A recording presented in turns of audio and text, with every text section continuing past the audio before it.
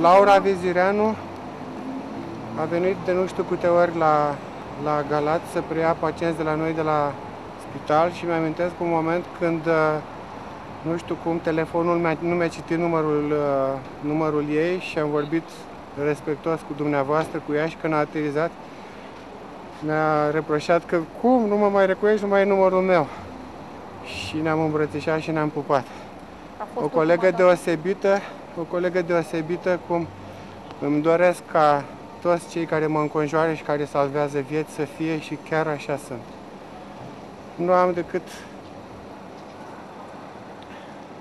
sincere condoleanțe de transmis familiei, copilului care a rămas fără mamă, colectivului de la Constanța și tuturor celor care zboară sau nu zboară, dar salvează viețile din, din țara noastră. Nu doar medicul și asistenta erau cunoscute la Galas, ci și echipajul de zbor. Am zburat, da, am zburat, cu chiar a fost uh, primul care mi-a făcut aclimatizarea, copilotul, un om extraordinar. Niște oameni extraordinari cu toții, colegi în primul rând. Suntem o familie aici și ne este foarte greu tuturor. Ce ai simțit atunci când ai auzit? Da. Ce ai simțit?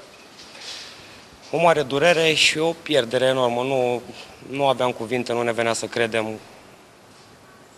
Dar asta e. Ați sperat? Am sperat până la ultima clipă. Medicii gălățeni nu pot să nu se gândească și la faptul că la rândul lor zboară cu elicopterul smurt pentru a salva vieți. Suntem foarte triști din două motive. În primul rând că și noi suntem prieteni cu ei, cunoșteam, suntem colegi. Și în al doilea rând că și noi lucrăm pe elicopter și asta o să ne dea de gândit foarte bine. Dar cel mai, cel mai afectat sunt că am pierdut colegi, am pierdut prieteni cu care am zburat, cu care am colaborat. Asta este tot. Ce putem să mai zicem? Condoleanțe familiei. Ca să salvezi o viață, poți să-ți dai viața Ca ta? să salveți o viață. Asta am ales să facem, asta ne place să facem. O facem cu drag. Asta este tot. Ce Atât colegii de la Smurt Galat, cât și cei de la Constanța vor participa joi la înmormântarea medicului Laura Vizireanu, care va avea loc la Brăila.